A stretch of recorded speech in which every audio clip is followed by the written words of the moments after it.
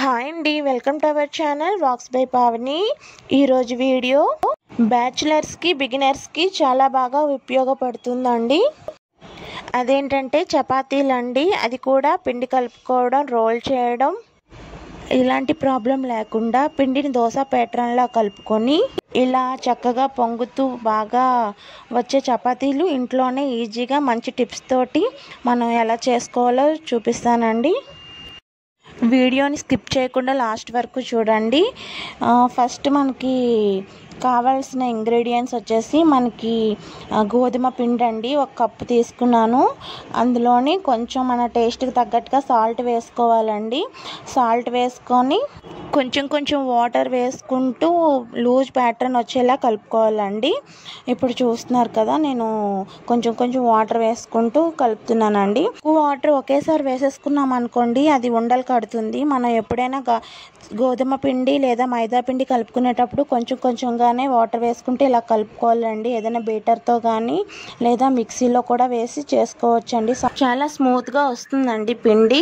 ఇలా మీడియం ప్యాటర్న్లో కలుపుకోవాలండి. చూస్తున్నారు కదా మరి అంత పలుచగా కూడా చేసుకోకూడదు.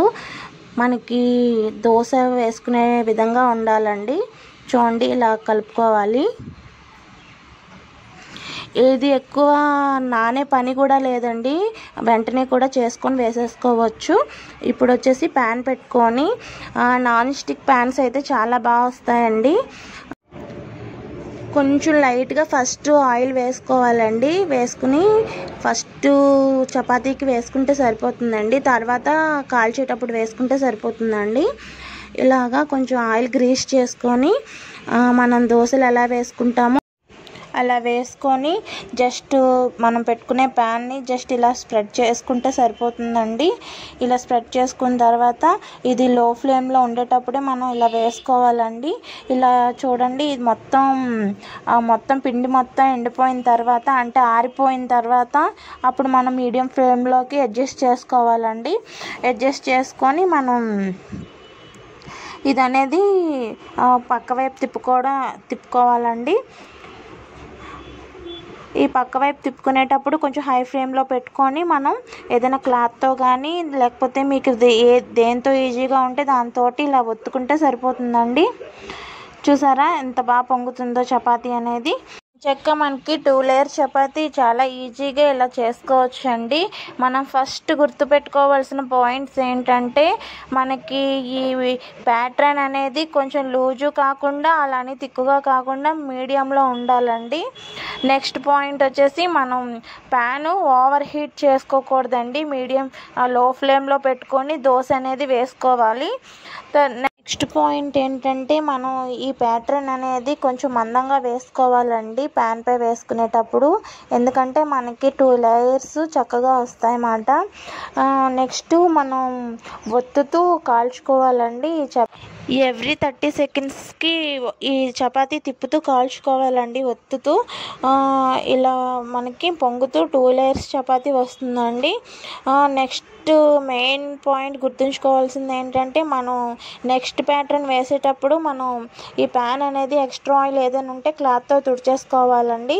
తుడిచేసుకొని మళ్ళీ మనం సేమ్ ఫస్ట్ ఎలా వేసుకున్నామో అలాగే ఈ హీట్ అనేది లో ఫ్లేమ్లో పెట్టుకొని కుక్ చేసుకోవాలి. చేసుకోవాలండి ఆ తర్వాత మనం సైడ్కి తిప్పేటప్పుడు మన హై ఫ్లేమ్లో కానీ మీడియం మీడియం ఫ్లేమ్లో కానీ కాల్చుకోవచ్చండి.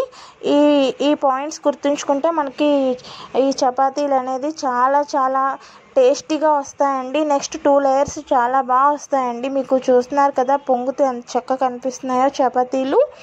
ముందు చెప్పాను కదండి బిగినర్స్కి అండ్ బ్యాచిలర్స్కి ఇది చాలా యూజ్ఫుల్ అండి. ఎందుకంటే అందరికీ ఒత్తుకోవడం కలుపుకోవడం పామడం కూడా చపాతీలు చేయడం రాదు కదండి. ఇలా అయితే చాలా ఈజీగా చేసేసుకోవచ్చు అన్నమాట నెక్స్ట్ ఈ చపాతీలు గంటలు గడిచినా చాలా స్మూత్గా ఉంటాయండి మెత్తగానే ఉంటాయి. మనం గట్టి పడతాయని భయపడే పని లేదు. మనం ఏ టైంలో తిన్నా కూడా చాలా స్మూత్గా ఉంటాయి. మీకు ఈ వీడియో కనుక నచ్చిందనే అనుకుంటున్నాను. నచ్చినట్లయితే లైక్ చేసి షేర్ చేసి సబ్స్క్రైబ్ చేయడం మర్చిపోవద్దు ఫ్రెండ్స్. మీరు కూడా ట్రై చేసి కింద కామెంట్ సెక్షన్లో మీకు ఎలా కుదిరిందో కూడా నాకు కింద కామెంట్ చేయండి ఫ్రెండ్స్. Okay bye friends.